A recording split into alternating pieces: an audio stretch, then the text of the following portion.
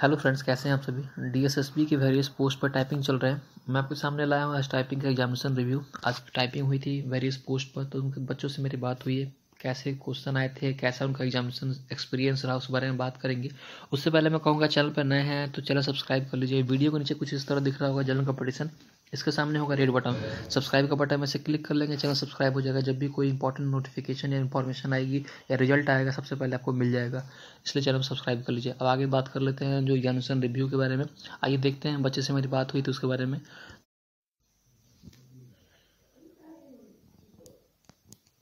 Typing मेरा अच्छा हुआ है। स्पीड मैं अपना मेंटेन करके रखी थी, लेकिन बीच में मैं थोड़ी नर्वस हो गई थी क्योंकि आसपास बहुत टाइपिंग की आवाज़ें आ रही थी। लेकिन बाद में मैंने कंप्लीट कर लिया और कंप्लीट करके मैं जैसे ही दोबारा फिर से शुरू किया, एक लाइन तब तक टाइम ओवर हो गया। और आसपास भी बच्चे टाइपिंग कर रहे थे, पर उनमें, उन्हें भी मैंने देखा तो कोई थोड़ा बहुत स्लो भी था और कोई बहुत बच्चे फास्ट भी थे। तो ये तो स्पीड का था और कीबोर्ड सर जो मुझे प्रोवाइड किया गया था, वो आईबॉल का था। बाकी आसपास कोई स्पेसिफिक ऐसे कंपनी थी नहीं। अलग अलग कंपनियाँ की भी थी इंटेक्स का भी था और आईबॉल का भी था, ऐसे मिक्स थे।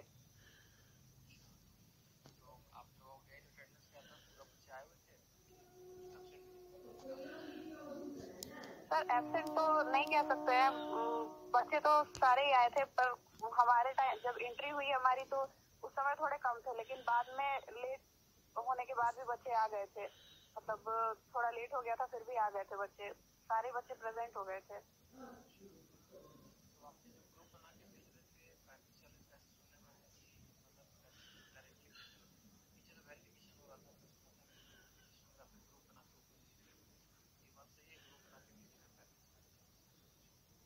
हाँ यस सर ग्रुप बना के ही भेज रहे हैं वो।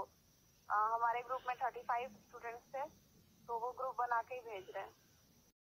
ओके okay फ्रेंड्स ये शॉर्ट वीडियो था काफ़ी लंबा वीडियो था इसलिए मैं शॉर्ट में करके दिखाया हूँ और कुछ बच्चों से मेरी बात हुई है तो कोशिश करूँगा मैं और भी वीडियो बना के डाल देने के लिए।